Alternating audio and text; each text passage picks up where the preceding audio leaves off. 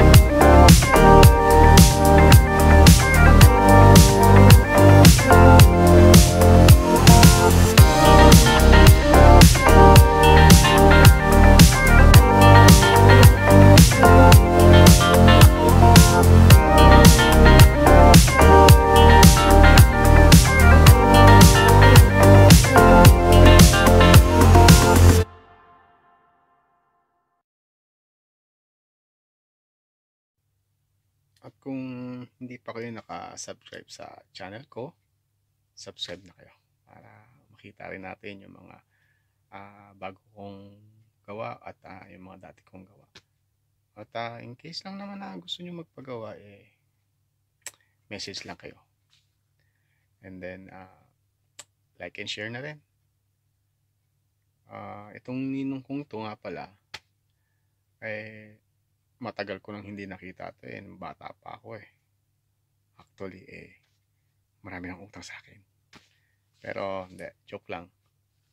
Ah, siya si Rolando Villegas. Ah, maliit pa ako, nagpunta na siya ng US.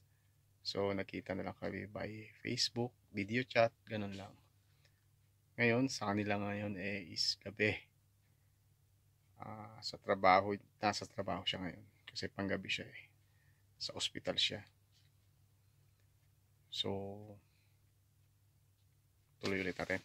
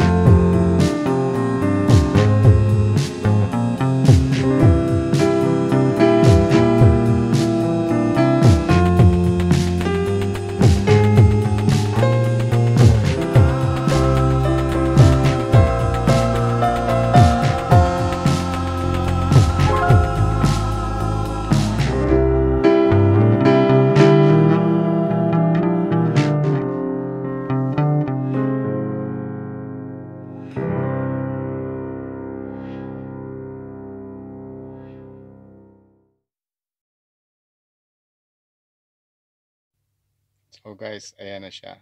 Yan ang ninong kong gwapo. Pero kabataan pa lang yan dati. Hindi.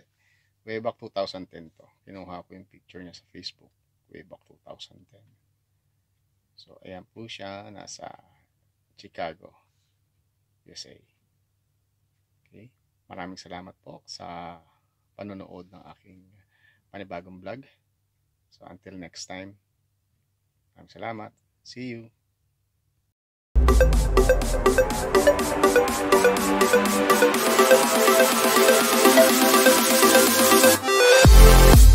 back.